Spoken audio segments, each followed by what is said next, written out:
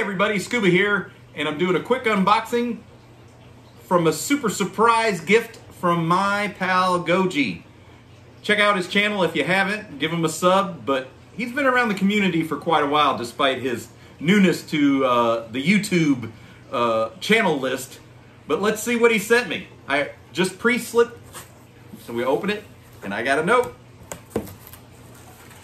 And it reads, Hey Pete, I saw this and was inspired to do a quick and dirty custom for you. This is a thank you for being one of the most positive and fun guys in the community. Hope you like it. Of course you like it. You like everything. All the best to you, Leslie, and the family. Goji. Well, thanks, dude. I can't wait to see what this is. And... What? Holy smokes. Join Scuba Pete and Leslie as they hunt the seven seas for toys and treasures of all kinds.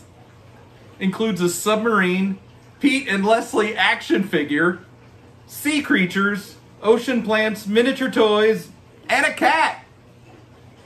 And he's done custom custom box art. Check that out. Dude, this is amazing. Oh my gosh. And it's everywhere. There's Scuba and Leslie. Undersea Toy Hunt playset. Let's take a closer look. All right, so here is the sub. Check it out. There's Scuba Leslie and our cat. And the sub's called Scuba One. Arms picking up a Joe. Cool undersea toy hunter. And that hatch opens to reveal massive storage space for all these cool bits that he sent.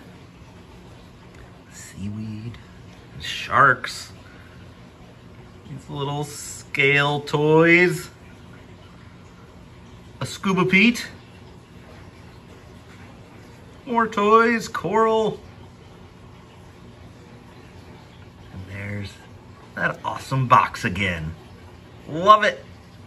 Goji, thank you so much. I am blown away. Leslie is so tickled as well. Love it, dude. Thank you so very much.